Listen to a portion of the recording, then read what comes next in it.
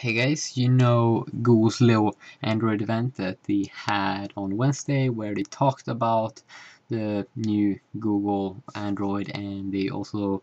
introduced or launched this new Android Market web store that I made a video about. Now I didn't talk that much about the Android 3.0 Honeycomb that they showed off on this little event just because they were only you know showing off this new first tablet Motorola Xoom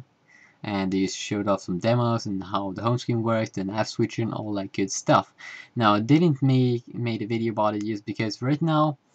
uh, I I thought that they would release the full event and they did. You can now watch the full Android event that they had on the Wednesday on YouTube and it's almost one hour long. That's why I didn't make a video about it because this is what I'm going to watch right now because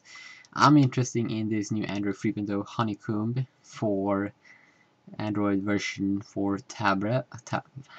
Android version for tablets, and I'm very interested to see the first tablet Motorola Xoom that's going to use this Android version. So that's what I'm going to watch right now. Do you know this new home screen the app switcher the revamped YouTube interface and the email applications and all that good stuff and all the nice demos that they are going to show off and it's obviously